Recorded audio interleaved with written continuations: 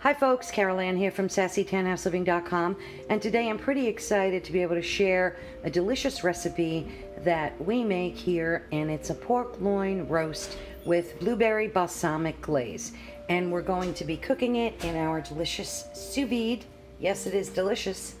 And we're going to be making the bags to cook the pork loin in with our FoodSaver. And I'm going to show you just how easy this is to do and what a delicious pork loin dish you will get from it. Okay, so what we're gonna do now is cut the bag and get it ready to put our pork loin in. We figured out just about how much space we needed. You can pull it to adjust to any size. And now we're gonna cut the bag and all you do is you slide that across and pull it out and now you have your bag cut and you'll see that it's open on both sides of the bag.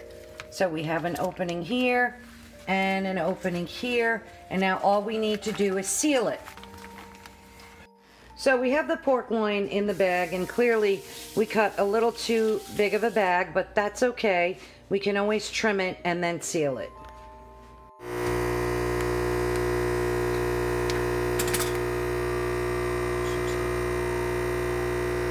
And what it's doing right now is removing all the air. As you can see.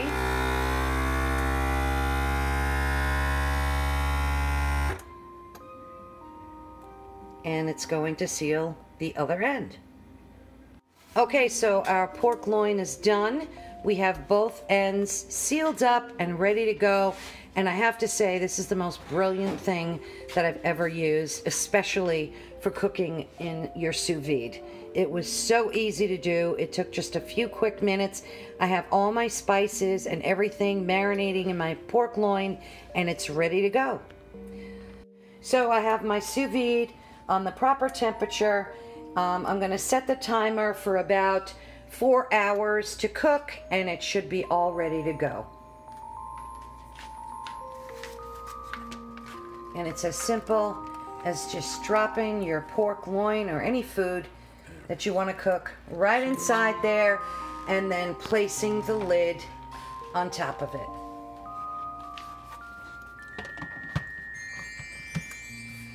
And there we go. And that's why I especially love this FoodSaver because it made cooking with my sous vide so much easier. Before I'd have to go buy special bags for it and now it's so easy to cut the exact size that I need. It takes all the air right out for me so that it can cook perfectly in my sous vide and I'm going to show you my finished recipe of pork loin roast with blueberry balsamic glaze. So here's the pork loin. I just took it out of the sous vide and as you can see the bags held up beautifully. These bags are absolutely a dream to use in your sous vide cooker and I am thrilled to be able to have this FoodSaver because it really does make sous vide cooking a breeze. It literally took me all of 10 minutes to make my bag, prep this, and get it in my sous vide. It was that quick. Okay, so I just checked back four hours later and my sous vide pork loin is now done and what I'm going to do next is take it out of the bag and I'm going to just roast it in the oven for about 10 minutes just to get the top crispy. I'm going to put a little bit of additional spices on it and I will show you that next. And what we're going to do is pop it in the oven for about 10 to 15 minutes just to get a nice little brown crispy, delicious topping, um, like coating on it. And then it'll be done and I will make the blueberry balsamic glaze. An important thing to remember when you're making your blueberry balsamic glaze, you want to make sure that your blueberries are very dry because they will like explode. So be very careful to um, take some paper towel after you wash them and just give them a pat dry and then they'll be perfectly safe for cooking.